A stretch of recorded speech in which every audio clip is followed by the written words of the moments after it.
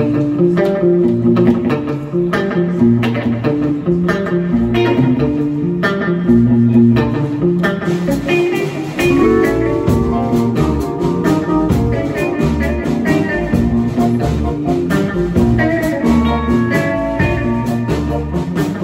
-hmm. you.